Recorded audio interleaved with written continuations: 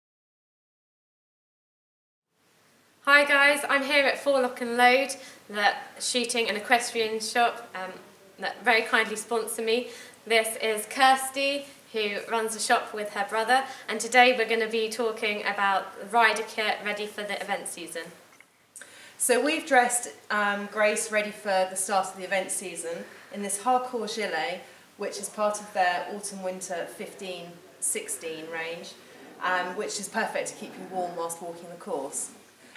The tread step Azura Pro breeches are what we've kitted Grace out in for her show jumping, dressage and cross-country phases.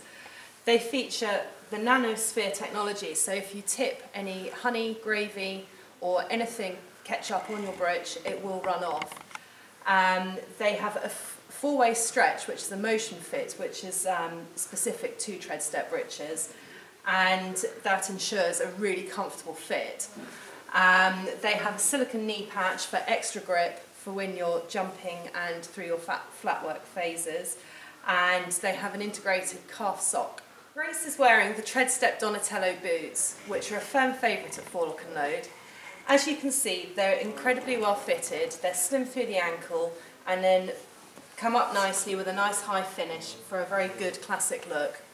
Um, they wear really well and are fantastic competition boots.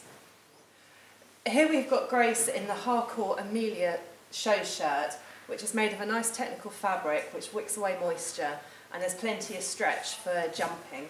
Um, they've got neat little poppers on the sleeve which finish it off quite nicely and it's quite modern without being too super blingy like some of the um, current shirts on the market. Grace is wearing a stock from the Silk Route, which is a company based in Scotland. Um, they're all made of pure silk, and this one's a ready-tied one, with a nice little diamante finish, which I think is perfect for winning that dressage test. And to finish off Grace's outfit, we've kitted her out with some Noble Outfitters gloves.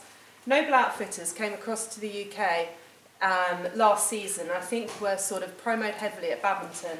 Um, they're called the Perfect Fit Glove. They're very, very stretchy. They've got a nice palm, which um, gives you very good grip for on the reins if it's wet or the horse is sweating. And they're also touchscreen friendly, so you can text your friends. so we think at Lock and Load that this kits you out quite well for the season.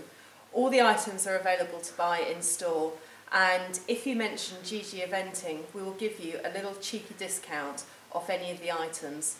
Thanks for watching everyone. As Kirsty said, everything's available at 4 Lock and Load. Um, you can find them on their website as well. And you can follow me on Facebook and Twitter at GL Equestrian and GG Eventing. My website, glequestrian.co.uk. And follow us on our YouTube channel and please subscribe, GG Eventing. Thank you.